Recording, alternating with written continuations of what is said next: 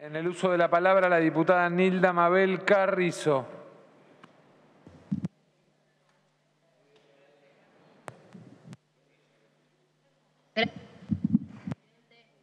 Señor presidente, el cuidado del ambiente debe ser la principal responsabilidad para todos los que ocupamos un lugar en la toma.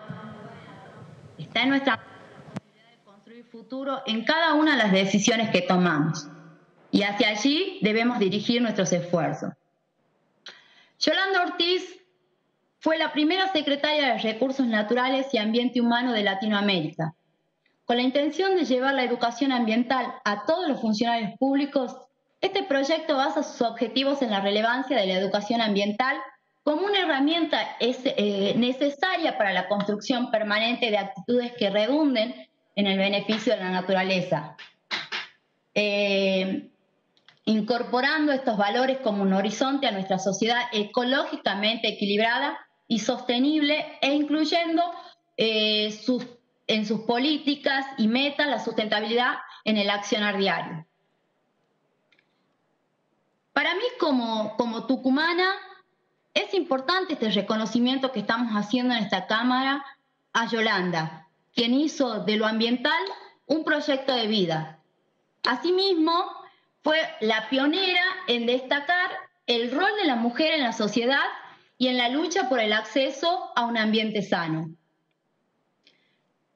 Señor presidente, este proyecto es el punto inicial para garantizar la capacitación y la concientización en los tres poderes del Estado con perspectiva socioambiental.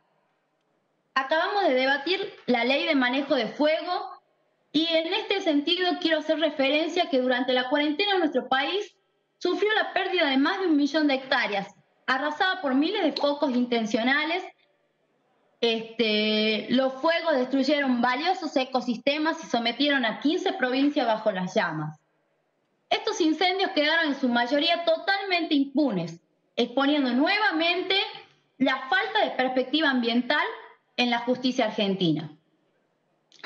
Señor presidente, tenemos que poner un límite a las prácticas extractivas y tomar conciencia de la crisis ecológica y sistémica a la cual nos estamos enfrentando.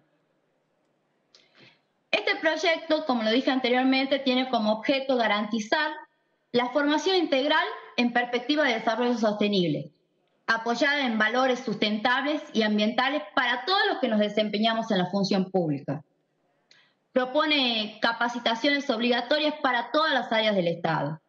La problemática ambiental es un tema que nos preocupa y ocupa a quienes escuchamos las demandas sociales, priorizando los reclamos que se sienten en las calles y en las comunidades originarias.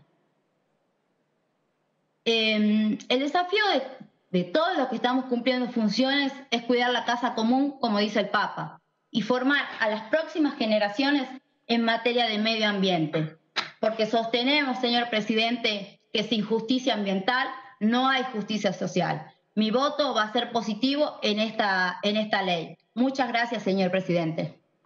Gracias, diputada.